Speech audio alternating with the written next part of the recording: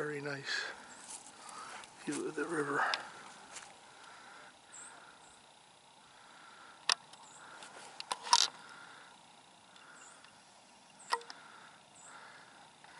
Ran into a couple other trail people.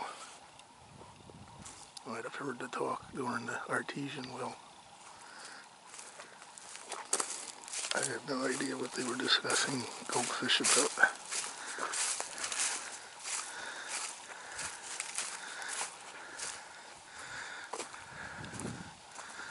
No, I'm not going down that close, but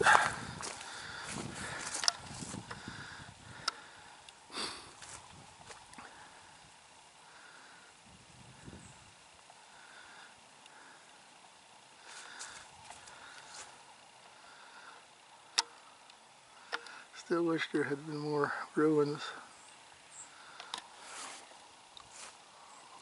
Wonder if this goes all the way into Mays Landing. Probably comes out near the Tuckahoe Turf Farm. Or even into the Tuckahoe River.